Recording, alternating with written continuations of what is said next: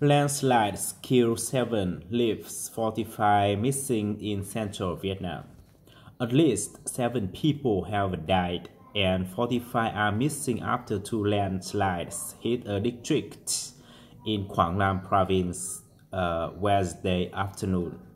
A landslide in Cha Liang commune, Nam Tra My district, have, has left 45 people missing. A district official said Wednesday night.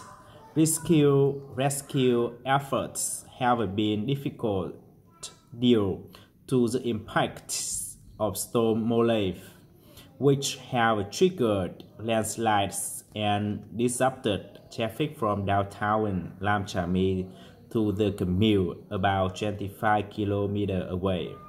Another landslide that hit the district's Tra Van commune uh, has killed at least seven people, local authorities said. Prime Minister Nguyễn Phúc has requested the nation the National Disaster Response Committee, military forces, and local authority to cooperate and use any method necessary to rescue victims of two landslides.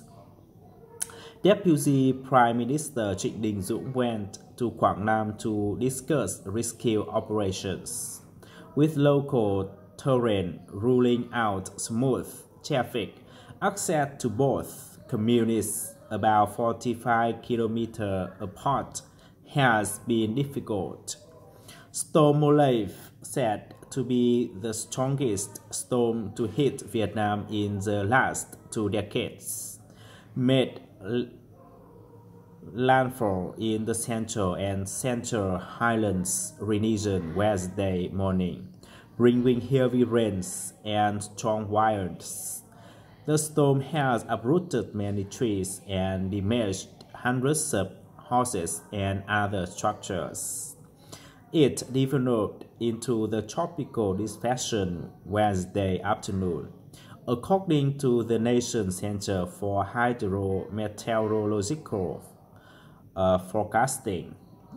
Rainfall up to 300 millimeter, uh, has been recorded in Quảng Nam since 9, 9 a.m. Wednesday.